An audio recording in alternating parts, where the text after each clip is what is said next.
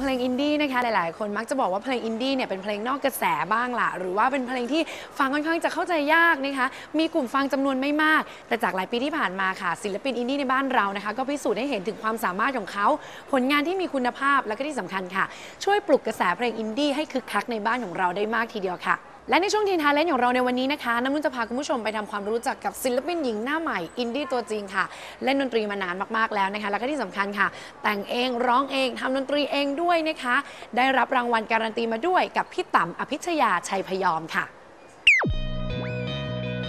ทีนทาเลน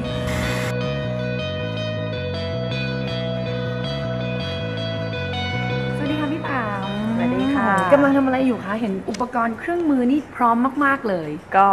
นี่กำลังอัดลายเพลงนะคะก็มีแบบ track ที่เราทำ production มาแล้วบ้าง แล้วบางอย่างเราก็ต้องการความสดใหม่ แล้วก็อัดเพิ่มเข้าไปอะไรเงี้ย นะคะมีความเป็นมืออาชีพมาก ๆ เลยนะคะคุณผู้ชมค่ะนี่แหละค่ะแขกรับเชิญของน้ำนุ่นนะคะ เป็นศิลปินหญิงหัวใจอินดี้ตัวจริง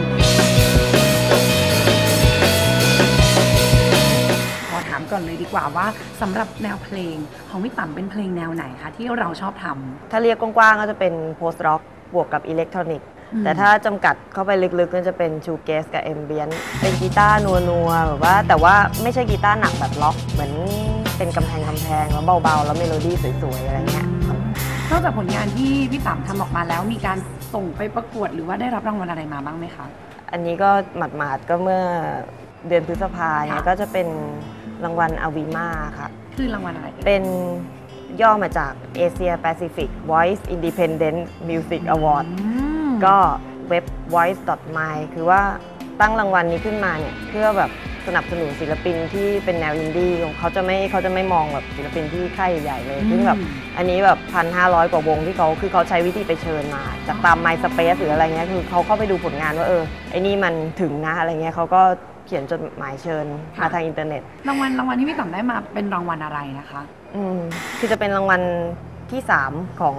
สาขา Moody Melancholic Masterpiece ค่ะ ซึ่งมันจะเป็นแบบสาขาพิเศษนะฮะ ซึ่งแบบมันแปลแปลเป็นไทยง่ายๆ ก็แบบประมาณว่าเพลงหมุนเศร้าขั้นเทพอะไรเงี้ยอืมอันนี้เป็นแนวเพลงที่เราได้มาด้วย ใช่แล้วก็แบบว่าเพลงเพลงเราเพลงนั้นที่ส่งไปก็เป็นเพลงหา ซึ่งแบบเราร้องภาษาไทยด้วยแต่ว่าด้วยแบบ ดนตรีต่างๆอะไรเงี้ยภาคดนตรีคือเขาก็ฟังแล้วเขาเขาเก็ตเขาอินไปกับเราอะ อันนี้ทำให้เราเห็นเลยนะคะอืมว่า เรื่องราวของดนตรีไม่มีการแบ่งแยกภาษาจริง ๆ แต่ว่าเราสามารถใช้เสียงเพลง ในการเชื่อมหากันหรือว่าติดต่อสื่อสารกับคนอื่นได้ Do not just fade away มีรางวัลการันตีมาขนาดนี้แล้วนะคะแล้วก็รวมไปถึงมีมินิอัลบั้มออกมาให้พวกเราได้ฟังกันด้วยใช่ไหมคะใช่ค่ะ เป็นยังไงบ้างเอ่ยอยากให้พี่ต่ำเล่าให้พวกเราฟังหน่อยค่ะมินิอัลบั้มชื่อ I am Neuter Lover นะคะ แปลว่าอะไรซึ่ง คะพี่ต่ นิวเติมคือไม่มีเพศำค่ะ แล้วเลเวอร์ก็คือคนรักอะอืมคนรักไม่มีเพศคือเราไม่จำกัดเพศค่ะ อันนี้เป็นเรื่องรสนิยมส่วนตัวนิดนึงค่ะแต่ก็แบบเหมือนกับประกาศตัวเอง แต่ว่าที่ตั้งชื่ออัลบั้มเนี้ยเพราะว่าคือจากที่ประสบปัญหามาคือคนเข้าใจว่าเป็นวงดนตรีอืมเราก็เลยอยากจะบอกว่าเออฉันเนี่ยแหละ เป็นฉันคนเดียวนะอืมก็เลยเป็น I am อ๋อ ทั้งหมดในมินิอัลบั้มมีทั้งหมดกี่เพลงคะ มี 5 ค่ะ 5 เพลงใช่ถ้าเกิดว่าเพื่อนๆทางบ้านอยากจะฟังสามารถเข้าไปติดตามผลงานของพี่ต่ำได้ที่ไหนบ้างเอ่ย ก็จะมี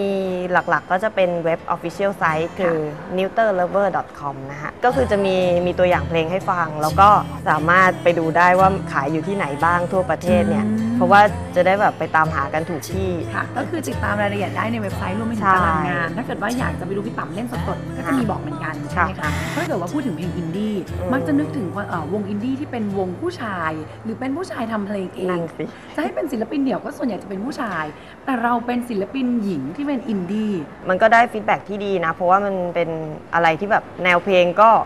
ยังไม่เคยมีใครทำแนวนี้ค่ะคือเรื่องของเรื่อง คือถ้าจะเป็น grunge ก็คืออย่างยุคก่อนเป็นพี่อรอรีย์อย่างเงี้ยอืมนั่นก็แบบพี่ลิกอะไรเงี้ยคือจะเป็นแล้วมันก็หายไปเลย ช่วงหนึ่งก็จะมีโผล่มาเป็นแบกการ์เด้นอะไรเงี้ยแล้วก็หายไปอีกแล้วก็มีเรามานะตอนเนี้ยค่ะศิลปินวงอื่น ๆ น้องๆที่เขาเขาดูเราแล้วก็คนดูที่แบบดูเราแล้วแบบเออเขาอยากจะมาร่วมวงกับเราอะอืมสุดท้ายตอนนี้ 7 คนแล้วก็มีสำรองได้อีก แล้วก็เพิ่งมีซาวเอนจิเนียร์อะไรเงี้ย ก็คือเดี๋ยวต่อไปก็พัฒนาวงไปมากกว่าเนี้ยเพราะว่าด้วยความที่เขาแบบ เออเขาชอบแล้วเขาศรัทธาในสิ่งที่เราทำค่ะ พี่ต่ำมีคำแนะนำให้กับน้องๆที่อยากจะทำเพลงเองบ้างไหมคะ อย่างแรกเลยก็คือ ไม่ต้องกลัวอะไรทั้งนั้น คือเพราะว่าคือถ้าเรามีไอเดียเราอยากจะทำเนี่ย อย่าพูดแต่ว่าเราอยากทำให้ลงมือทำอืมหาหนทางเราทำซะอะไรที่มันอยู่ใกล้ตัวเนี่ยเอามาทำเพราะว่าจากตั๊มเริ่มเองเนี่ยตั๊มก็ไม่มีอะไรเหมือนกันนอกจาก PC ง่อยๆ Cakewalk แล้วก็ sound on board แต่ตั๊มมีไอเดียของตั๊มอะก็อัดแล้วก็ทำมาแล้วก็พัฒนา demo มาเรื่อยๆ แล้วสุดท้ายประสบการณ์ที่มันผ่านไปเนี่ยมันจะสอนเราเอง มันจะกลั่นกรองเองว่าสิ่งที่เราทำมันดีหรือยัง ค่ะค่ะจากประสบการณ์ที่เราได้ฝึกแล้วก็สะสใช่มไปเรื่อยๆน้ำนุ่นอยากฟังสดๆจากพี่ต่ำมากเลย เอานี้ดีกว่า เอาเป็นเพลงที่เราไปได้รับรางวัลมาดีกว่า ได้ชื่อเพลงว่าหาเดี๋ยวค่ะเราไปช่วยกันหากันค่ะในเพลงของพี่ต่ำค่ะ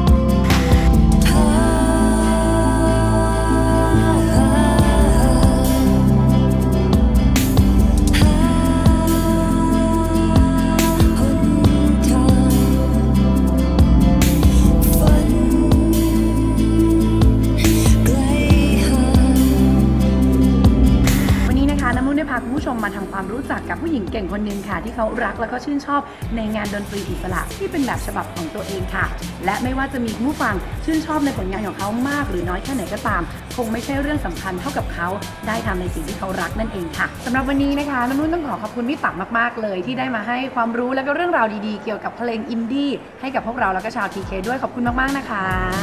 เดี๋ยวเราจะลากันไปพร้อมกับเพลงเพราะๆจากพี่ตั๊มกันค่ะ